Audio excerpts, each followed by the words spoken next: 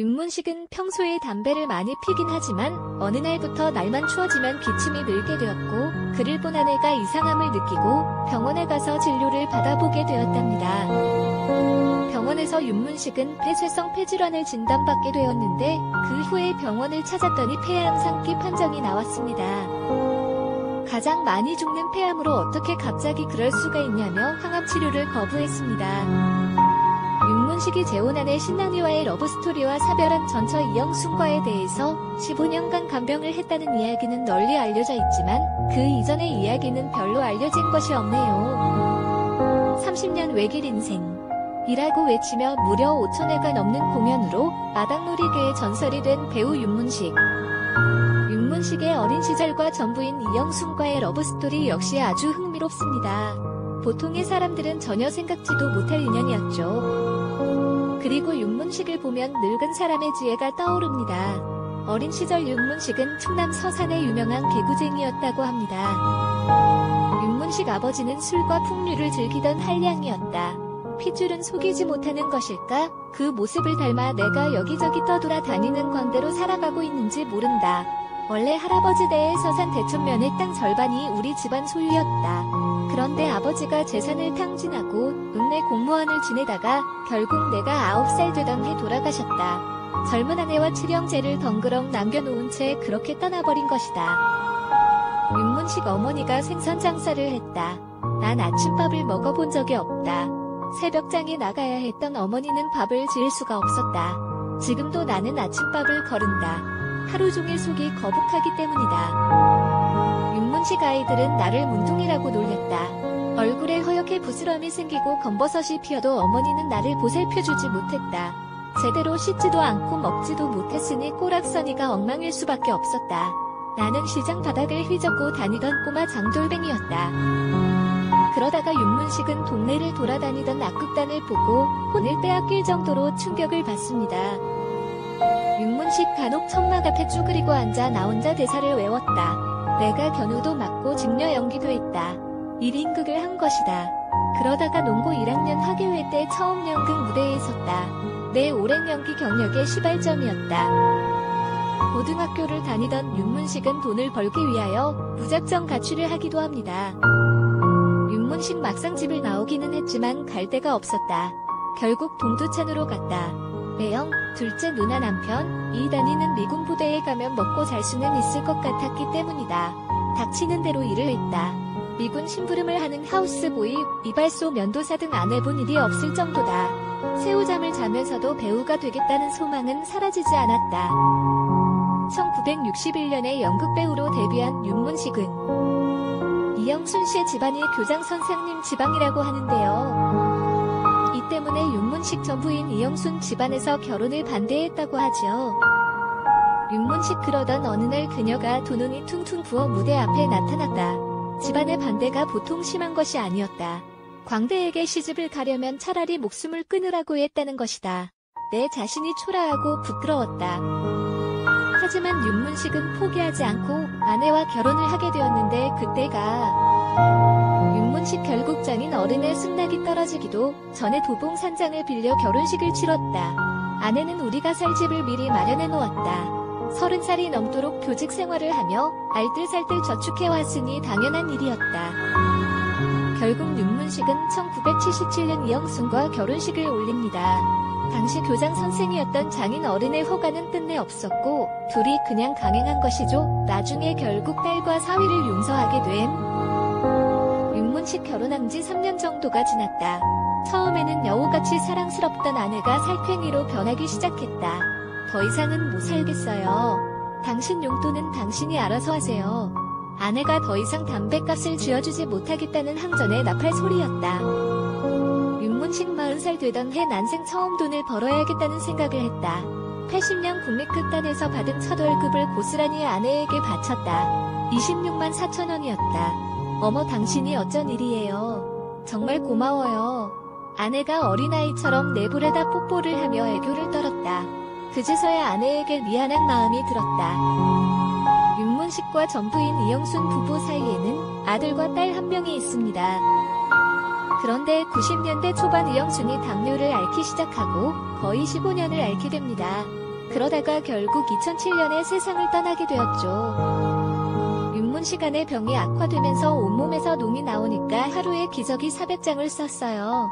간병인도 버티지 못하고 나가는 상황이니 제가 돌볼 수밖에 없었죠. 결국 윤문식과 윤문식 딸이 번갈아 이영순의 병간호를 하게 됩니다. 윤문식 마이너스 15년 동안 이별 연습을 한 거요. 그런데 그게 충분하지 않았나 봐요. 지방 공연을 하느라 임종을 지키지 못했는데 막상 저 세상으로 떠났다는 말에 하늘이 무너지는 것 같았군요. 연기나 삶이나 완벽함은 없는 거죠.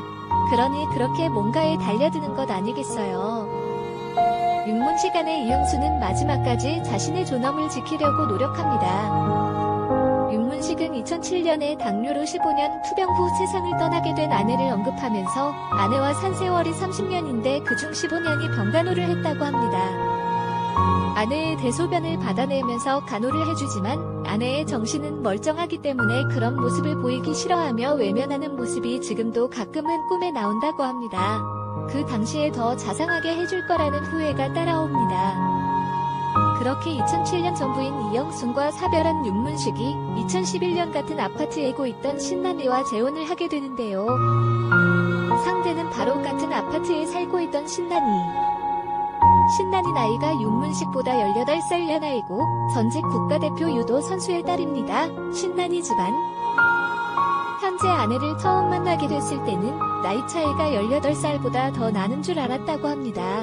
만나게 된 계기는 같은 아파트 이웃으로 가끔 마주치게 됐는데 항상 윤문식을 보며 웃으며 인사를 했고 알고 보니 둘 다 혼자 사는 상태였습니다. 그렇지만 이때 결혼을 하리라고는 생각하지 못했습니다. 어느 날 윤문식은 촬영 스케줄이 있어 지방에 내려갈 일이 생겼지만 차가 없었습니다. 신난이는 직접 운전을 하여 데려다 준다고 하였고 함께 지방에 내려가는 길에 아내가 먼저 같이 살자고 말했습니다. 윤문식은 30대 후반쯤으로 보이는 아내와 결혼한다면 매맞을 일이라며 거절했지만 아내는 주민등록증을 보여주며 50세인 것을 인증하게 되었습니다. 신난이 윤문식과 아파트 주민이었는데 전처와 사별 후 힘들어하더라. 그래서 내가 밥 좀 사달라고 했는데 드라마 촬영 얘기하다 내가 지방까지 운전해드리겠다고 하면서 매니저 역할을 했다. 윤문식 술을 먹고 비틀거리던 나를 챙겨줬던 예쁜 여인이 지금의 아내다. 아내가 먼저 나에게 같이 사는 게 어떻겠냐고 제안했다. 내가 프로포즈하려 했지만 아내가 먼저 눈치를 챘다. 윤문식 정말 감동받았다. 남한산성 근처에서 밥을 먹고 공동묘지 쪽으로 가게 됐는데 거기서 나도 모르게 아내에게 뽀뽀했다. 죽은 사람들이라 소문 안 날 것 같아서 공동묘지서 있다. 신난이 남편의 존재가 내겐 태산 같다. 18살 연상임에도 결혼을 결심한 이유는 그의 머리를 열어보고 싶을 정도의 박학다식함에 반했기 때문이다. 아내를 하늘이 주신 선물로 여기고 모시며 살고 있다는 윤문식은 천사가 지금의 아내로 온 것 같다며 애정을 드러냈습니다. 외롭고 힘들었던 길을 함께 걸을 수 있고 황혼의 사랑도 젊은 사람들처럼 뜨겁다며 사랑 옛 찰론을 알렸습니다. 결국 윤문식과 신난이는 먼저 동거부터 합니다. 신난이 동거부터 시작했다. 당시 윤문식이 공연하는 장소랑 내가 살던 집이랑 굉장히 가까웠다. 2회 공연을 할 경우 굉장히 늦게 끝나지 않나. 윤문식은 운전도 암해서 지하철 타고 다녀야 하는데 너무 늦으면 출퇴근이 번거롭기 때문에 한 두 번 우리 집에서 자고 공연장에 갔다. 그것이 계속돼서 결국 눌러 앉았다. 신나니 하지만 동거를 하면 좋은 점이 있었다. 윤문식의 아들이 직장 때문에 다른 곳에서 자취를 하는데 아버지가 우리 집에 와 있으니까 주말에 집에를 못 오더라. 아들이 불편하지 않을까 싶어서 방색 한 자리로 옮기자고 말했다. 그렇게 아들 방 하나를 만들어놨더니 주말마다 오더라. 두 사람은 2011년 결혼식을 올리는데 윤문식의 두 번째 결혼 역시 쉽지는 않습니다. 그 이유는 신랑이 집안에서 반대가 심했기 때문입니다. 윤문식 아내와 재혼하기 전에 장인 어른이 유도 국가대표 선수 출신이라 결혼 전에 죽는 거 아닌가 그랬다. 처음 만나기 전 굉장히 떨었다. 참고로 윤문식의 장인은 윤문식보다 12살, 장모는 4살 연상입니다. 맞아 죽을까봐 결혼은 말도 꺼내지 못했다고 하지요. 그러나 장모의 도움으로 장인 어른의 마음도 돌리고 결혼 승낙을 받았다고. 윤문식 아들 딸의 반대를 물리친 사연. 요즘 황문 결혼이라고 말을 하면 특히 자식들의 반대가 심합니다. 나이 차이가 많은 여성과 결혼을 하게 되는 아버지의 모습을 무조건 좋아하는 산남은 없을 것입니다. 가장 큰 이유가 바로 재산 문제인데요. 윤문식 재산 분배가 화제가 된 적이 있죠. 황혼 재혼을 추천하지만 후진이나 재산 문제가 따라올 수도 있다고 합니다. 윤문식은 그것에 대해서는 부모 중 한 명이 세상을 떠나게 되면 자식들에게 미리 재산을 분배해주면 된다고 제안했습니다. 윤문식 나는 윤난이와 혼인신고 전 아들과 딸을 불러서 내 재산을 보여주며 내 재산이 이 정도니 우리 3등분 하자고 했다. 아이들도 쾌히 승낙했다. 그래서 부부 노후 자금엔 손을 안 대기로 하고 나도 자녀의 돈에 손을 안 대기로 했다. 윤문식 신난 이 부분의 노후 자금은 손을 대지 않고 윤문식 역시 자녀들에게 손을 벌리지 않기로 하고 말이지요. 윤문식은 이렇게 슬기롭게 자녀들의 반대를 물리치게 되었던 것입니다.